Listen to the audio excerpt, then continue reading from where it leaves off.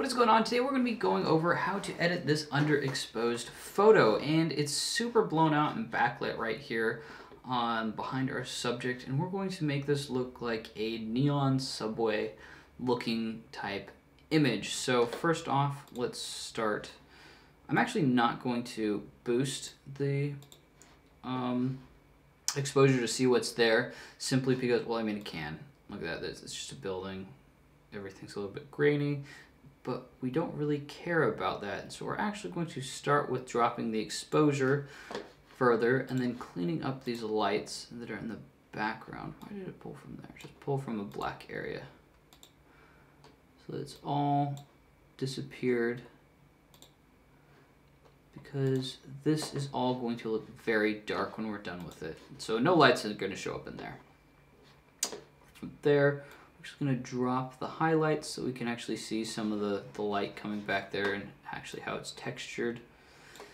Um, then this, this, you can see a lot of the colors that are still there, which isn't what we want. We kind of want it just to be the one color coming out of this area. You'll see in a minute what I, what I mean, what I'm prepping for. We'll turn this a little bit colder, and we're going to drop the vibrance so it pulls most of the color out of this. Not all the way, but we want most of the color to just be gone, with the exception of the green. I want to keep the green in there. But yeah, most of the colors gone. There it is. A little bit of green in these, a little bit of green there is retained. From there, I'm actually gonna increase the clarity. We're gonna come back and mess with this again a little bit later because the light is gonna affect the way that it looks on the uh, brick down there. And then we're going to go into the highlights and I want to make them this bluish, a little bit more on the green side.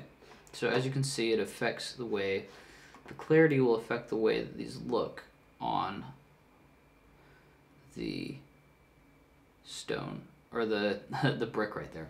So the brick, as we can see, uh, I really want it to be showing throughout that, so about right there. But that also brings up the exposure in this little back area. So we're just going to simply paint that away. Make it super dark. Again, back here.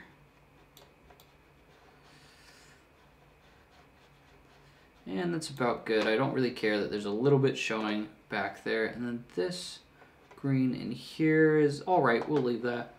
And this is pretty much exactly where we're going to leave this. You can go through and even adjust what type of color you want in images like this. Like if I wanted to have a blue background, you'd have that.